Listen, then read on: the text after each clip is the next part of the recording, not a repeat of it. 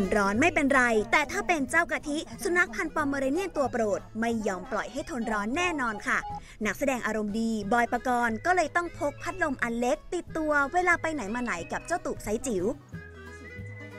ดูแลกันอย่างดีมาตลอด 6 ปี นี่เป็นครั้งแรกที่พามาออกงานอีเวนต์ ในงาน Net i Dog รวมสุนัขขวัญใจชาวโซเชียล แต่ดูท่าทางแล้วไม่มีตื่นเต้นค่ะ เพราะด้วยนิสัยส่วนตัวที่ร่าเริงชอบรับแขก และคุ้นเคยกับเพื่อนสีค้าต่างสายพันธุ์อยู่แล้ว โดยที่บ้านมีสุนัข10ตัว ทั้งชิวาว่า ปัก และสุนัขพันธุ์ไทยค่ะกะทิก็จะเป็นแบบหมาที่แบบชอบชอบแทะ ชอบกัดแงงแงงแงงอย่างเงี้ยเวลาเราเดินกลับมาบ้านเงี้ย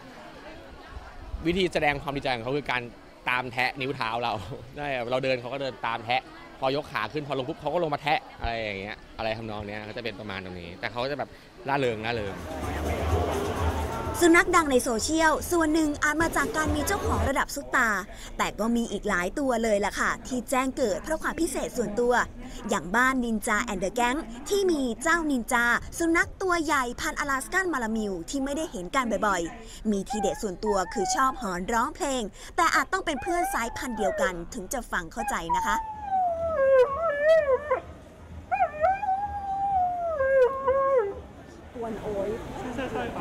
ส่วนชิวาว่าไซเล็กข้าวโพดเห็นตัวแค่นี้แต่มียอดคนติดตามใน Facebook ข้าวโพดเป็นหมาตัวหนึ่งกว่าแสนคนเพราะด้วยหน้าตาที่เหมือนยิ้มตลอดเวลาแต่ก็แฝงความเจ้าเล่ห์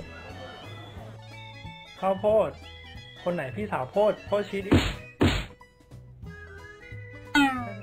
ดูได้จากคลิปวิดีโอยอดชมหลักล้าน ที่ข้าวโพดใช้ขาหน้าแสดงความรักต่อพี่สาวชิวาว่าด้วยความเคารพอ๋อ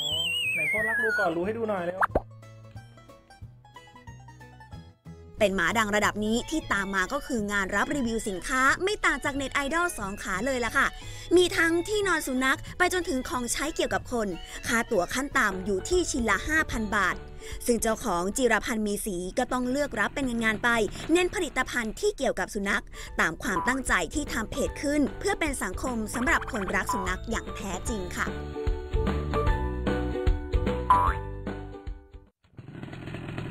คือบางอย่างเนี่ยเป็นการรีวิวสินค้าที่ไม่เกี่ยวกับตัวหมาเลยแบบอย่างเครื่องสำอางอย่างเงี้ยครับคือแบบก็คือจะมาผูกบางอย่าง ซึ่งเราสามารถทำ story story ได้แต่ คือเราเห็นว่ามันจะดูเป็นการค้าไปหรือเปล่าธุรกิจที่มันเข้ามาเนี่ยมันก็เป็นผลพลอยได้อยู่แล้ว แต่ทั้งที่อย่างที่บอกคือเราก็ต้องเออสกรีนดีๆนะครับว่ามีสินค้าอะไรที่มันแบบมันไม่โอเคต่อผู้บริโภคหรือแบบลูกเพจของเราคือเราก็ใจเขาใจเราอะครับ เราก็พยายามที่เซฟให้มากที่สุดครับคือถ้าหมามีความสามารถแล้วก็เราเราดูแลเขาอย่างดีไม่ได้แบบว่าเออเอาเขาไปแบบทำงานจนเหนื่อยอะไรอย่างเงี้ยผมว่ามันก็ไม่ใช่เรื่องที่แบบ ไม่ดีหรือว่าอะไรนะก็แบบเป็นการอีกช่องทางหนึ่งที่จะทำให้เรียกว่าเป็นเป็นเป็นตัวอย่างที่ดีที่จะสามารถสร้างแรงบันดาลใจให้กับคนที่ชอบน้องหมาอยู่แล้ว หรือว่าคนที่กำลังคิดว่าจะเลี้ยงหมาดีไหมอะไรเงี้ยก็เป็นผมว่าเป็นเรื่องที่ดีครับถ้าเกิดว่าเราดูแลเขาดีจริงๆ แม้เป็นหมาเซเลบก็จริง แต่สิ่งที่เจ้าของหลายคนเห็นตรงกัน คือต้องเข้าใจธรรมชาติของสัตว์เลี้ยง อย่างบ้านยูโร สุนัขพันธ์แจ็คราเซล จากเพจแจ็คราเซลเชอเรีย ที่เจ้าของจะรับงานแค่เดือนละไม่เกิน 2 ครั้ง เพราะหนึ่งในสุนัขที่เลี้ยงไว้ไม่ชอบเดินทางไกล และเมารถง่าย พร้อมทั้งฝากเตือนคนเลี้ยงสุนัขว่าเข้าหน้าร้อนแบบนี้ต้องระวังภาวะลมแดดหรือฮีสโตรก ที่มีวิธีคลายร้อนง่ายๆ คือนำผ้าชุบน้ำเย็นมาเช็ดถูตัวเจ้าตู่บ่อยครั้ง ก็เป็นอีกหนึ่งชีวิตน้อยๆนะคะ ที่เจ้าของก็ต้องดูแลเอาใจใส่ให้สุดความสามารถค่ะ